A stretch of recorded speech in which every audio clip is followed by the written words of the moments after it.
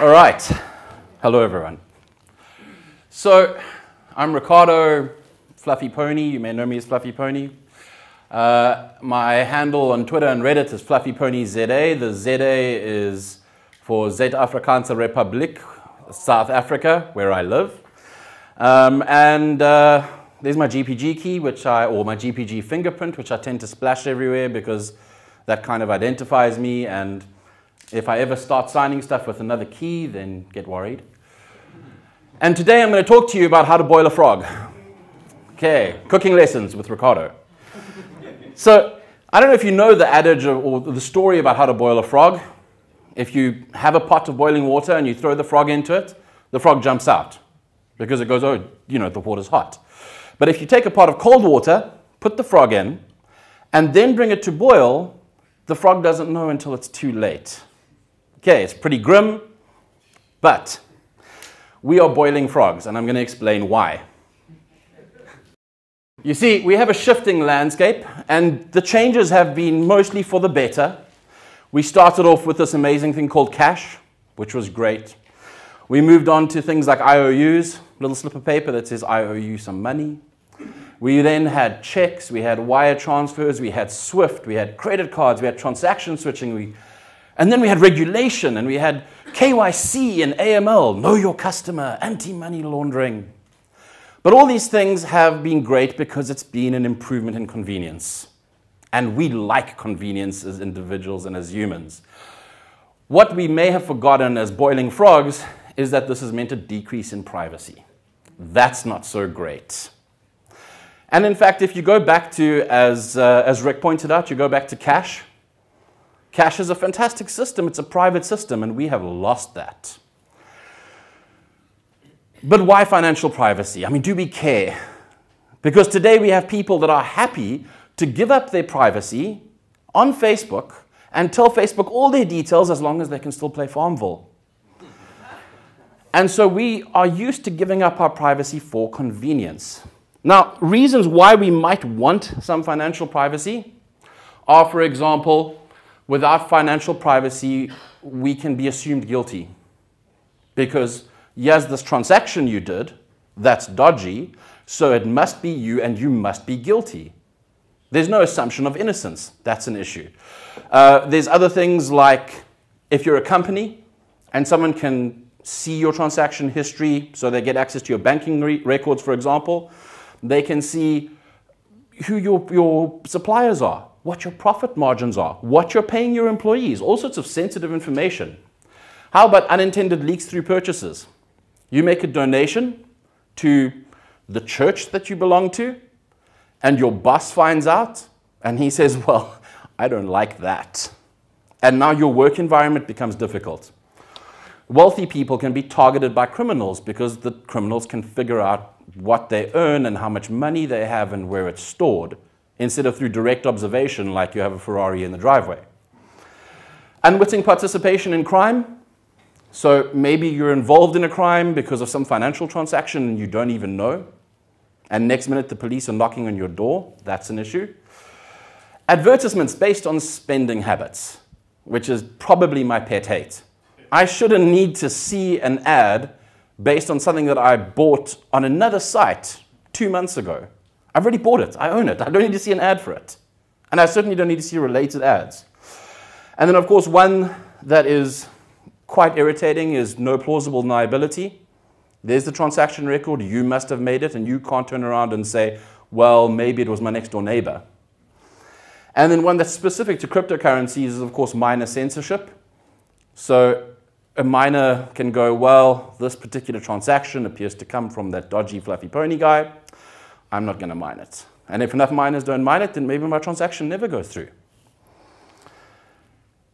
Now, oftentimes when I speak about transactional privacy or financial privacy, people go, oh, but it's incompatible with the law and we need the law to protect us, which is true to some degree. The thing is, when we were using cash, then the law still worked. Okay, so the law works, no problem, because policemen can still go and do good old fashioned police work. The taxman can go to your house and see that you live in a mansion and you have two Ferraris in the driveway and say, but you're only declaring earnings of $10,000 a year. Something's wrong. He doesn't need to see all of your transaction history to be able to see that. He can pitch up at your house. The other thing is that cash, for example, was fantastic as an opt in system. So, an opt in transparency scheme is somewhere where, in order for the taxman to know, or, or the police or whatever to know about a transaction that you did, they have to go to you and knock on your door and say, So, we heard that you paid this amount of money to this person. Did you or didn't you? Okay, that's opt in. Opt out is what we currently have, well, it's not even opt out, but what we currently have at the moment is that they don't need to come and ask you. They can go ask the bank, and then they can see, oh, these are your transaction records. Not so great. So, like I said earlier, and like Rick alluded to as well, cash is the ideal system, or was the ideal system, because now we have the war on cash. And cash is great because, firstly, it's extremely private. Secondly, it only relies on your OPSEC. Now, OPSEC is operational security. And when we say that it only relies on your operational security, what we mean is if I pay somebody cash and they don't know my real name, then some, someone can go and bust them and be like, oh, you received this payment. Who was it from? And they can go, I don't know. He didn't tell me his name. He was a pony. I don't know. Whereas oftentimes with our current transactional system, and even with Bitcoin, they can go and there's this knock on effect because someone else can reveal you through lax operational security. And then, of course, cash can only be revealed by the owner. So they can come knock on your door and say, How much do you have under your mattress? And you can say, Much, many notes. Come count them with me. And of course, cash is perfectly fungible. Now, fungible is a, is a cool little word that economists like to use to mean one thing can be perfectly interchanged for another.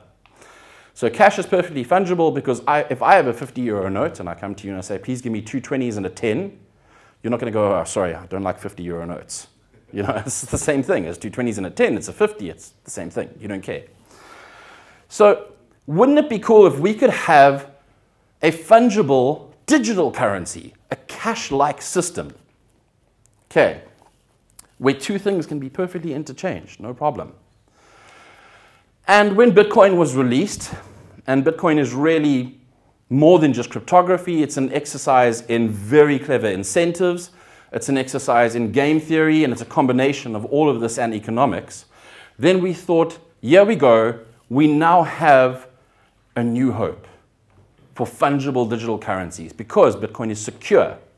That's proof of work. It's literally secured by the electrons in the universe. It's also decentralized. There's a low barrier to entry. You don't have to spend much to run a node. You have to have an internet connection and a bit of disk space.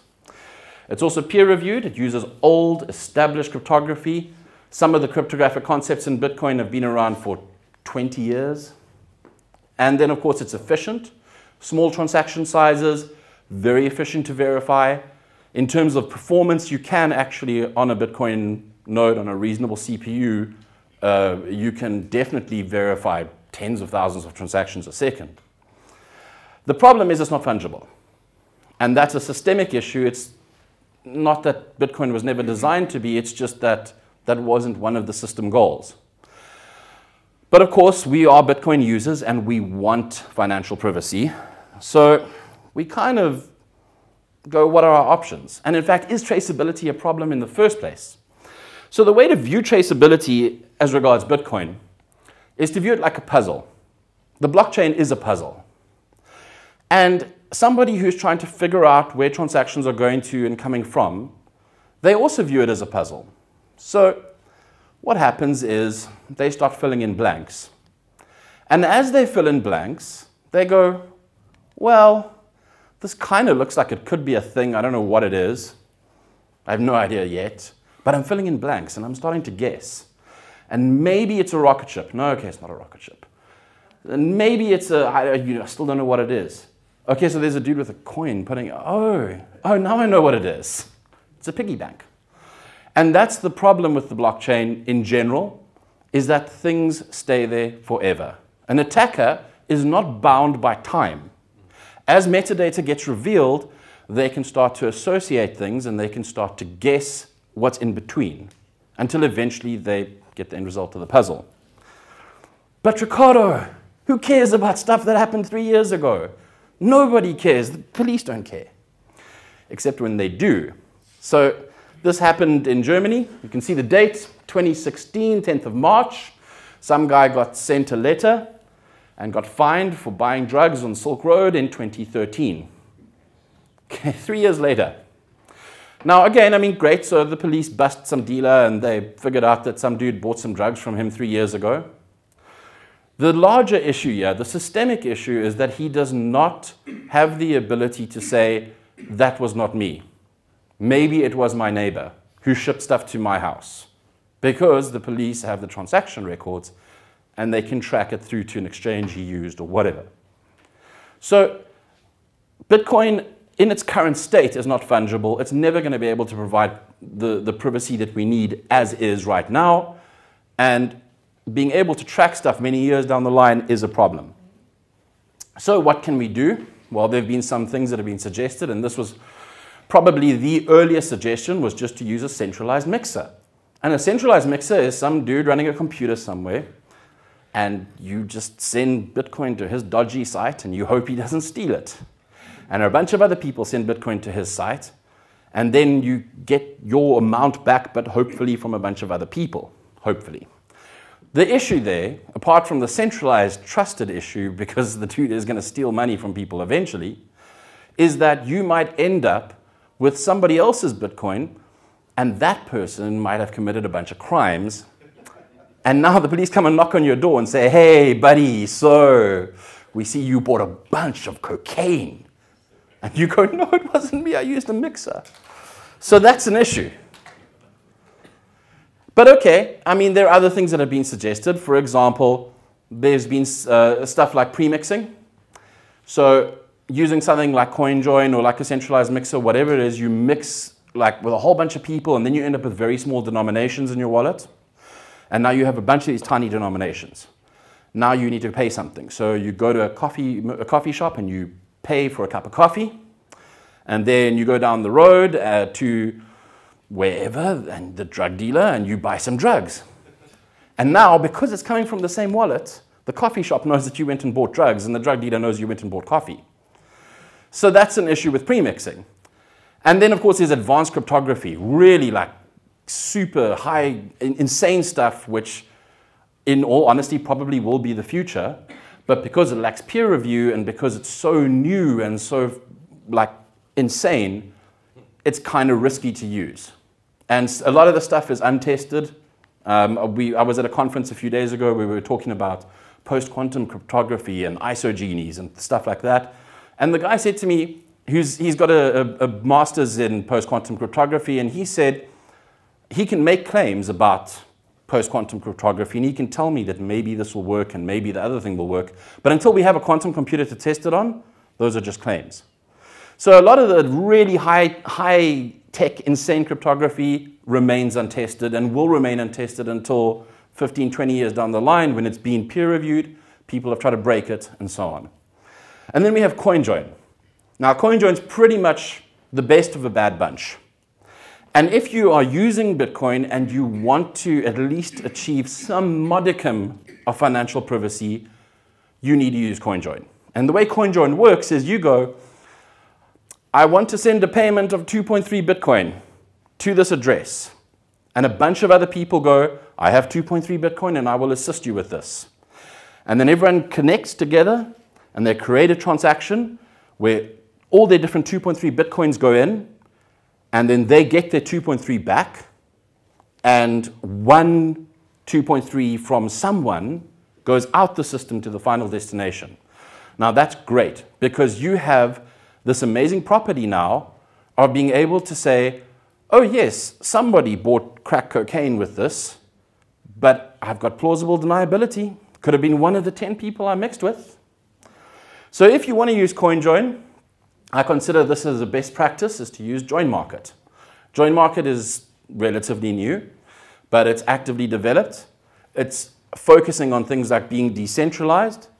Um, people are also incentivized to mix because, or to provide mixing liquidity because you earn fees for providing that mixing liquidity. And if you want to send a transaction using Join Market, you're paying a small fee for the privilege of doing that, and then that gets paid out to all these liquidity providers. The downside is Sybil attacks. Now, Sybil attack, a Sybil is not my aunt Sybil. A Sybil attack is where the people you're mixing with are all the same person and you don't know. They appear to be different people. And now they're all involved in the mixing transaction with you, and you go, Great, I'm private. And meanwhile, it's one dude sitting behind a desk at the cop shop going, ah, now we know who he is. So, Sybil attacks are unfortunately a systemic risk with, um, with CoinJoin in general and not something that anyone can solve right now. Kind of the only solution is to mix with people that you personally know and that you know aren't cops or you hope they aren't, or, you know, aren't working for Chainalysis. Um, and then, of course, there's tainted coins, which we've spoken about, where you might end up receiving coins that were used in a, I don't know, darknet market heist or something. If you want to get started with Join Market, there's the GitHub. So the GitHub's kind of cut off, but it's github.com forward slash joinmarket dash org, and they've got a repo there called JM Binary. They have a little GUI, it's really neat. And that is kind of the best that you can do right now with Bitcoin.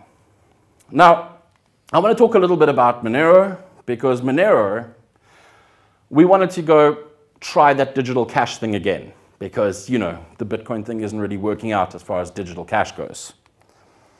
So, a quick overview Monero um, is not new on the scene. It was launched in April 2014.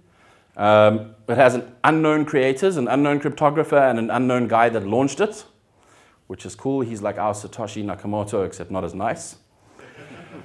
it's privacy oriented and utility driven, which means that our focus is on privacy, but also on making it useful, not on making it artificially grow in value. It's not based on Bitcoin's code. It has proof of work like Bitcoin, but a different uh, algorithm.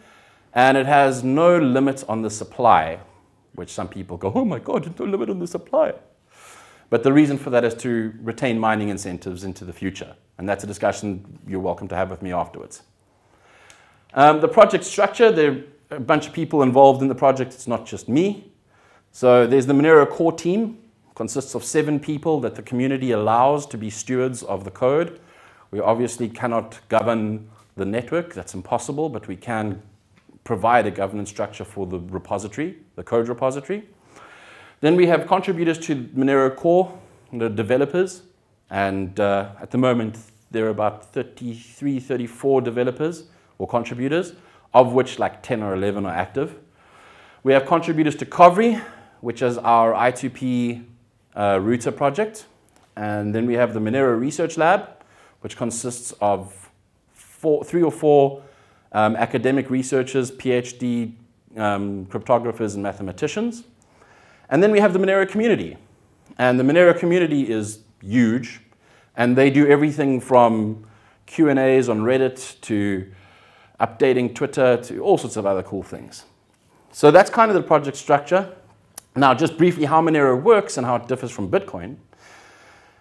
If you imagine this is the Bitcoin blockchain, it's easy to trace a transaction through because there's always a one to one relationship between them. And yeah, it gets a bit more, a bit more complicated with CoinJoin, but that stuff's always there and traceable forever. Now, the way Monero works, if you imagine this to be the Monero blockchain, is a transaction appears to come originate from a bunch of old transactions, old and new. And you can't actually tell which of those is the real originating transaction. And so, obviously, I mean, this is kind of, you know, there's only four that it could possibly be, but you've got to go find out, like, who's behind those four transactions. And then go knock on their door and then say to each of them, was this your transaction? And they can go, nope, wasn't me. And there's plausible deniability. Obviously, you know, four is kind of small. You can have a hundred, no problem. And the advantage here is where CoinJoin requires you to actively participate in a particular transaction, this can be done completely offline on an air-gapped computer as long as it's got a copy of the blockchain. So we spoke about opt-in um, reveal mechanisms, and Monero has one of those. It's called the view key.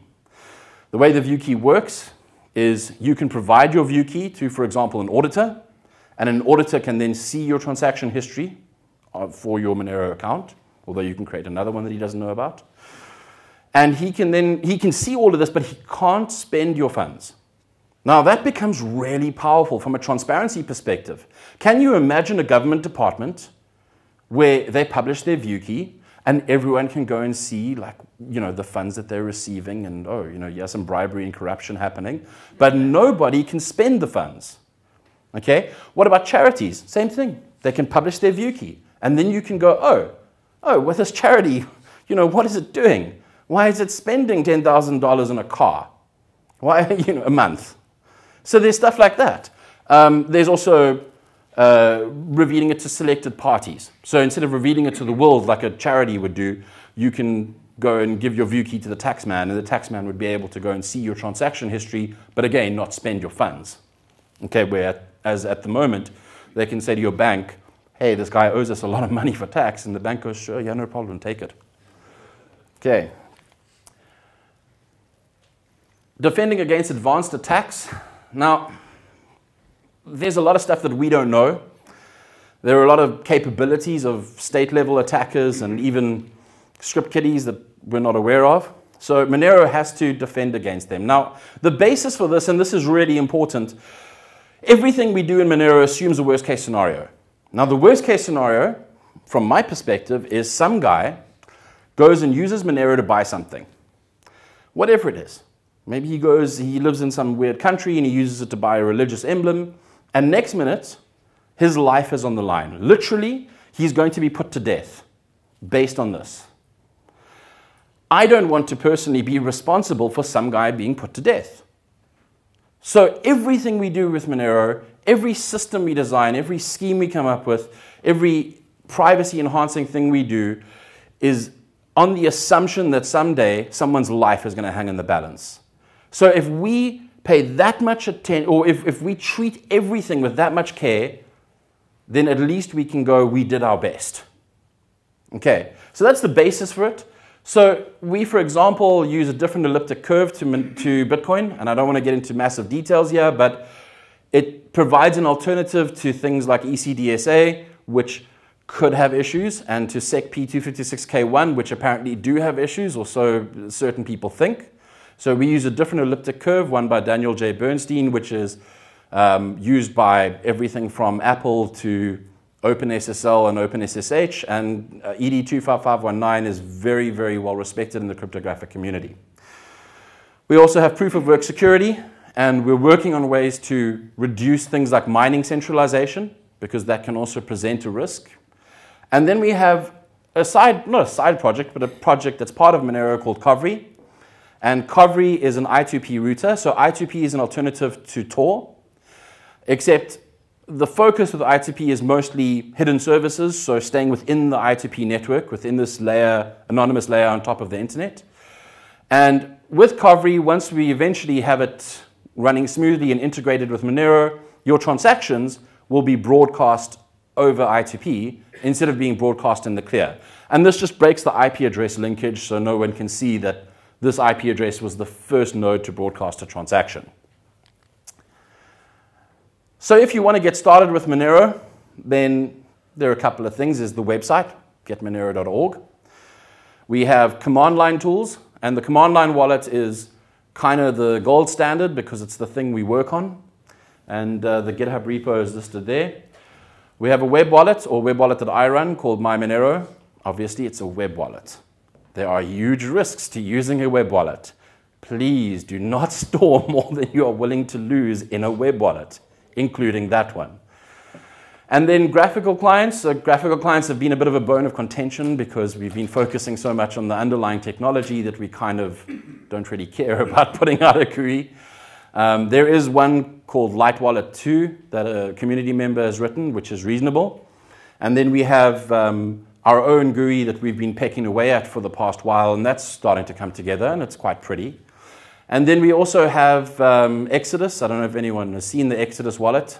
Um, it's a multi-currency wallet, and that uh, they've been working on adding support for Monero now for a few weeks, and it's looking pretty good.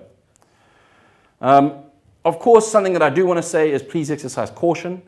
Monero is still a work in progress. This is very difficult to, to do stuff, and it's, stuff can break and stuff can be badly done and badly implemented. So exercise caution and don't, please don't let your life hang in the balance by using Monero just yet. Okay. So where to next? Because obviously there's other hard problems that we want to address with Monero. And some of the things that we want to try and tackle, things that um, we're not the only ones trying to tackle it, but uh, this is stuff that we find interesting. Decentralized identity and trust.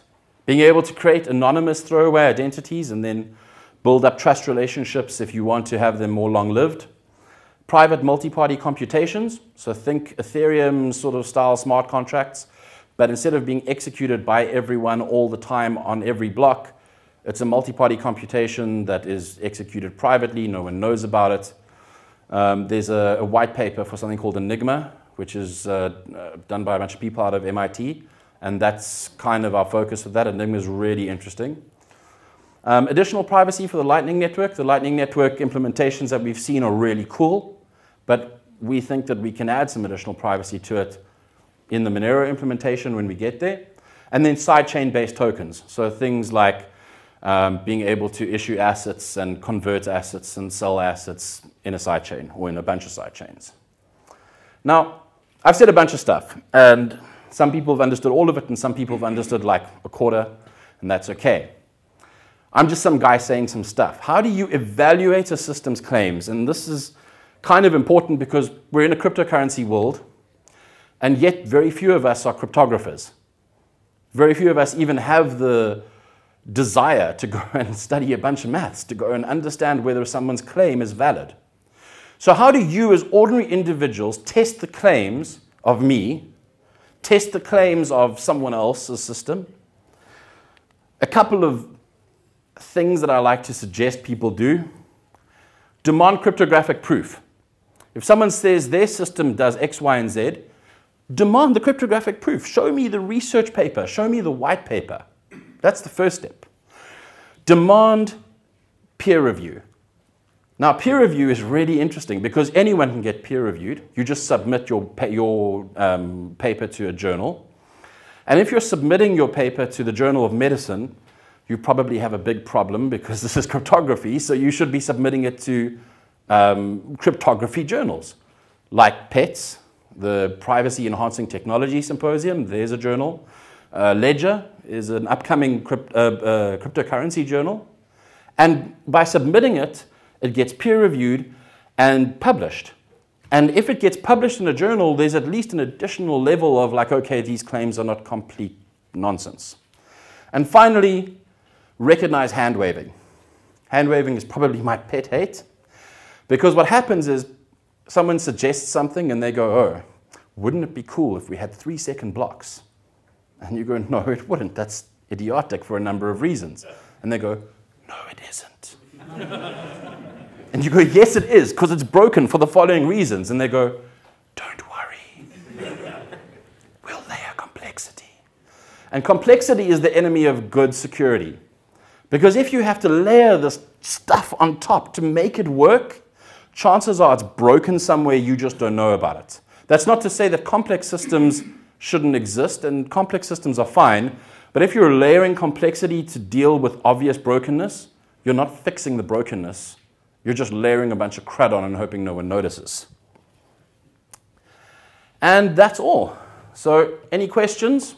Please feel free to email me or ask them now.